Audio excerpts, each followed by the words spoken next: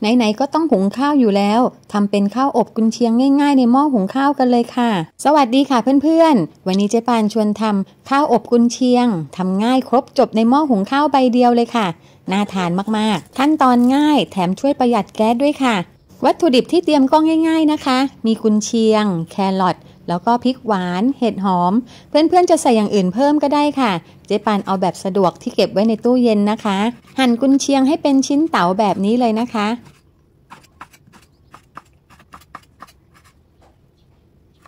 ตามด้วยเห็ดหอม หั่นเป็นชิ้นเต๋าเช่นกันค่ะแครอทด้วยนะคะ เพิ่มสีสันและความอร่อย สุดท้ายใส่พริกหวานค่ะ พริกหวานจะเป็นตัวชูโรงในรสชาติและสีสันนะคะ เพื่อนๆสามารถใส่อย่างอื่นได้นะคะ ไม่ว่าจะเป็นเนื้อหมูเนื้อไก่ และผักอย่างอื่นก็ได้ค่ะบล็อกโคลี่หรือว่าคะน้าเจ๊ปานจะเตรียมน้ำปรุงรสน้ำซอสง่ายๆนะคะ เริ่มจากซอสถั่วเหลือง น้ำมันหอย แล้วก็น้ำมันงาเพิ่มความหอมค่ะ ถ้าไม่มีไม่ต้องใส่นะคะ ตามด้วยน้ำตาลทรายเล็กน้อย เหยาะพริกไทยป่นลงไปค่ะ เตรียมข้าวสารหุงข้าวแบบปกติเลยนะคะเจ๊ปานใช้ 2 ถ้วยนำข้าวไปซาวล้างน้ำปกติให้เรียบร้อยเลยค่ะ เสร็จแล้วใส่ทุกอย่างที่เราหั่นลงไปนะคะ พร้อมเครื่องปรุงที่เราเตรียมเอาไว้ คนทุกอย่างให้เข้าเนื้อกันค่ะ เสร็จแล้วเราก็หุงข้าวรอประมาณ 15 นาที ข้าวสุกขึ้นสัญลักษณ์ warm แล้วเจ๊ปานจะรีบใส่ไข่ลงไปเลยค่ะ ตั้งใจจะให้เป็นไข่ออนเซนอบเอาไว้อยู่ในหม้อประมาณ 4 นาทีนะคะ ครบ 4 นาทีแล้ว ตักไข่ขึ้นมาเลยค่ะนำมาแช่น้ำเย็นนะคะ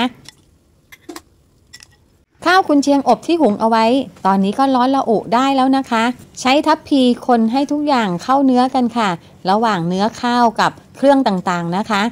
ตอนนี้หอมอร่อยน่าทานมากๆเลยค่ะ ได้เวลาจัดจานพร้อมเสิร์ฟแล้วนะคะ เจแปนก็จะใส่ลงไปในถ้วยแบบนี้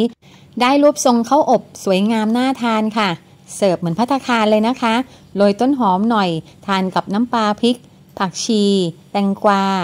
เท่านี้ก็อร่อยมากๆแล้วค่ะเพื่อนๆ ขั้นตอนง่ายๆ แค่หุงข้าว ก็ได้ข้าวกุนเชียงอบน่าทานแล้วค่ะยังไม่หมดแค่นี้นะคะ เจ๊ปานก็ลวกไข่ออนเซนเอาไว้ ตอกไข่แล้วเอามาโปะที่ข้าวเลยค่ะ รับรองเลยว่าครบ5หมู่แน่นอน พร้อมเสิร์ฟอาหารจานหรูทำง่ายในหม้อหุงข้าว ประหยัดแก๊สด้วยค่ะ